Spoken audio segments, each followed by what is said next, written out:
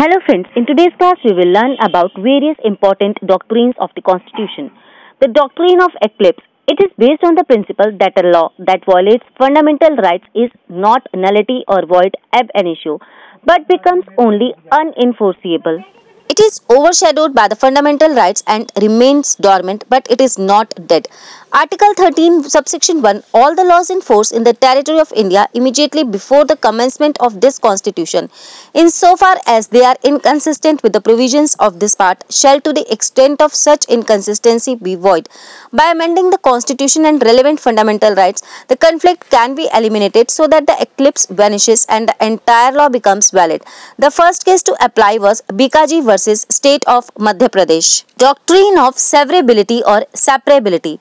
It protects our fundamental rights as it is mentioned in Article 13, subsection 1 of the Constitution that all the laws in force in India before the commencement of the Constitution, insofar as they are inconsistent with the provisions of fundamental rights, shall to the extent of that inconsistency be void.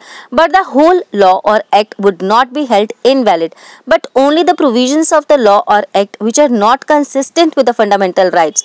If both the valid and invalid part is so closely mixed up with each other that it cannot be separated, then the whole law or act will be held invalid.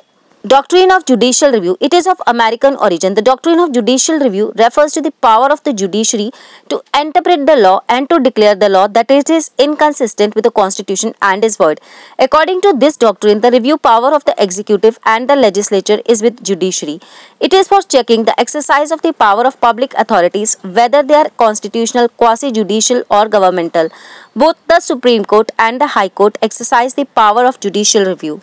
Doctrine of due process of law. If the Supreme Court finds any law unfair, it will declare it void. Individual rights can be treated more fairly with the help of this doctrine.